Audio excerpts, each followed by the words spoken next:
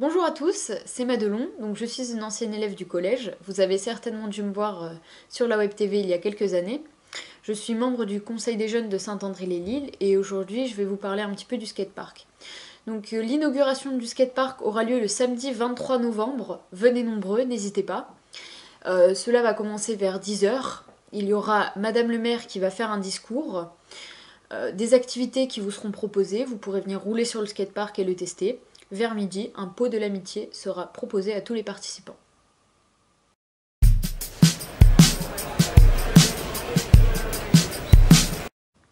Le skatepark sera ouvert à la suite de l'inauguration. Tous les jours.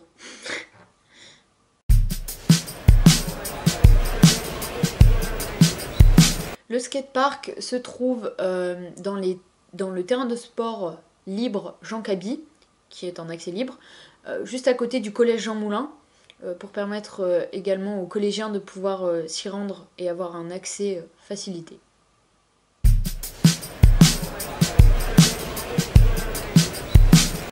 L'accès au skatepark est évidemment gratuit vu qu'il se situe sur le terrain libre. Donc tout le monde peut venir pratiquer.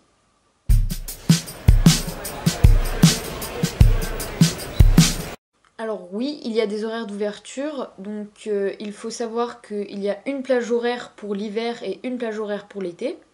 La plage horaire pour l'hiver se situe de 8h à 17h non-stop. La plage horaire pour l'été se situe de 8h à 20h non-stop.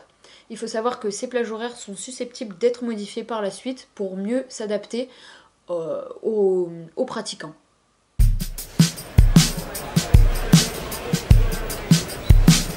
Alors oui, tout à fait.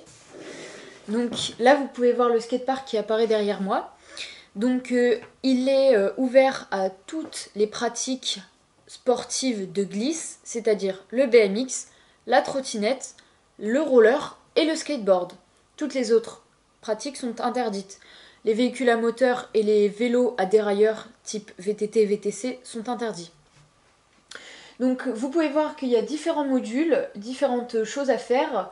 Vous pouvez voir qu'il y a des, plein de descentes, des courbes, euh, pour le vocabulaire un peu technique. Hein, euh, il y a euh, également de quoi slider, donc un slide c'est un glisse sur une barre de fer ou sur un cube, comme vous pouvez voir par là.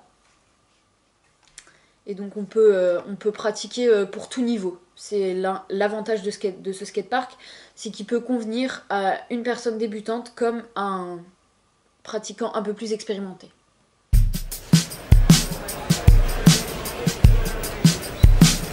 Son installation, euh, je me suis rendue euh, avec une pétition, voire un élu, il y a 5 ans.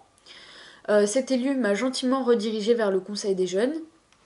Nous avons ensuite travaillé avec le Conseil des jeunes sur le lieu, le type de matériaux, quelle taille, quelle entreprise contacter pour faire ce skatepark. Nous avons ensuite dû demander un budget pour le skatepark euh, au conseil municipal qui a dû nous débloquer un budget. Budget qui s'élève à 160 000 euros, si je ne dis pas de bêtises. Donc euh, ça a permis de faire une jolie chose. Et donc euh, une fois qu'on a eu ce budget débloqué, donc c'était à peu près il y a un an, donc ça doit faire 4 ans on a eu 4 ans de travail sur ça. On a eu un refus du conseil municipal parce qu'on a porté le projet trop tard devant. Donc euh, c'était trop tard pour débloquer le budget.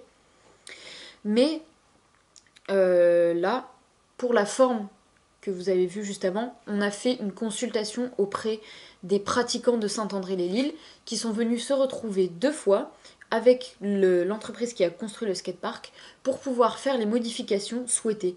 Régler la taille des modules, ajouter une petite pièce, en enlever une autre, pour permettre aux pratiquants d'avoir le skatepark qui pourrait leur convenir et convenir à tous. Donc euh, là, c'est l'aboutissement d'un beau projet. Et j'en profite pour vous dire que le Conseil des jeunes cherche des jeunes euh, motivés et qui ont envie de s'engager sur des projets, pas forcément un skatepark, mais qui ont envie de s'engager sur des projets. Et euh, c'est tout pour moi. Euh, ça m'a fait plaisir de faire cette vidéo. J'espère que vous viendrez nombreux à euh, l'inauguration du skatepark. Je vous attends là-bas. Salut